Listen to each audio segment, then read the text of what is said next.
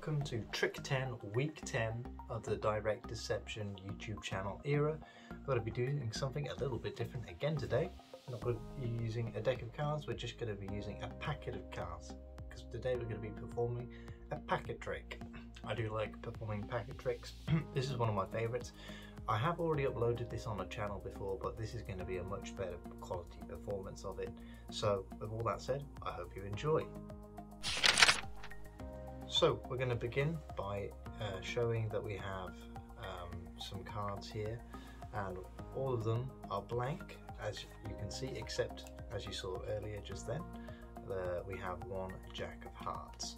Now the idea of the game uh, of this game is called four card Monte. We're going to be using the jack of hearts and these blank cards and you're going to be trying to keep your eye on the jack of hearts. So we place one of the blank cards down I will leave the Jack of Hearts in the middle of the deck. Okay, so I'll leave that in the middle, just like that, sticking out slightly, just like that. And I'll slowly square it into the packet, just like that.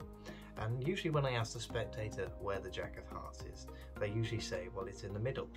Um, because they, they just saw that the top card was blank, and they saw that the bottom card was blank, and they saw the Jack of Hearts in the middle. But however, they are always surprised when I show them that the middle card is also blank.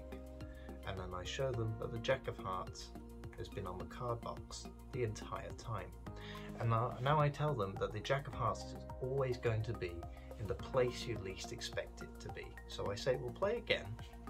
And I show them that I'll take one of the blank cards and I'll switch it for the Jack of Hearts. And the Jack of Hearts is going to go directly back into the middle of the pack and I'll show the spectator again very fairly the Jack of Hearts in the middle. And we'll square it up just like that once again. And I'm not going to mix up the cards. And I ask them where the Jack of Hearts is.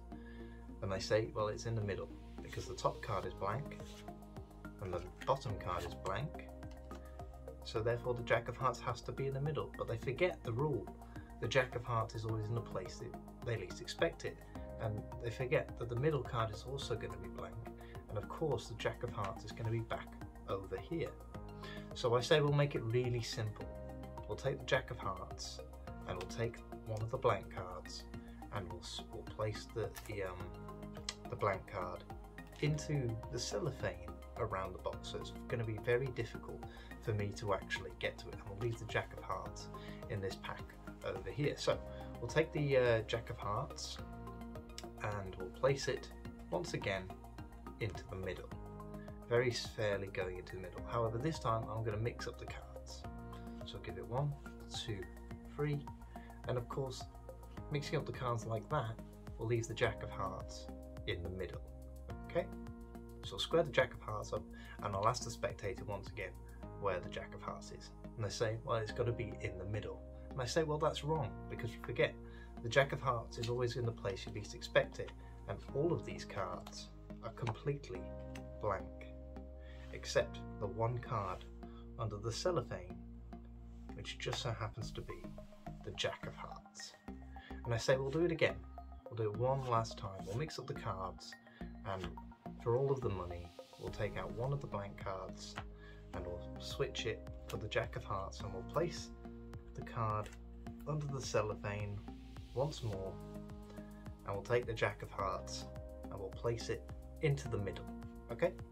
So we'll leave the Jack of Hearts in the middle and we'll even place the cards down very fairly and leave them there. And I ask them one last time for all of the money, where's the Jack of Hearts? And this time they click and they say, right, the Jack of Hearts is going to be here. And they take the card out from the cellophane and they turn it over and are crushed to see that it is a blank card. And in fact, if they had taken the middle card like they had done the previous attempts, they would have won all the money. In fact, if they'd taken any of these cards, they would have won all the money. And that's the trick. I hope you enjoyed. I'll see you in the outro. So guys, I hope you enjoyed that performance of uh, four card Monte. I really enjoy this packet trick. It's just such a, such a cool trick and the ending fools everyone. It even fools me to be fair. every time I perform it, just because I'm not. I, I know it's going to happen, but I'm like, how is it happening? But yeah. Uh, so if you enjoyed the performance, please make sure to subscribe to the channel if you haven't already. Turn on the notification bell so you get notified every time I upload and make sure to like the video if you enjoyed the performance. Leave down any comments down below for future video suggestions and with all that said, I shall see you in the next one. Goodbye.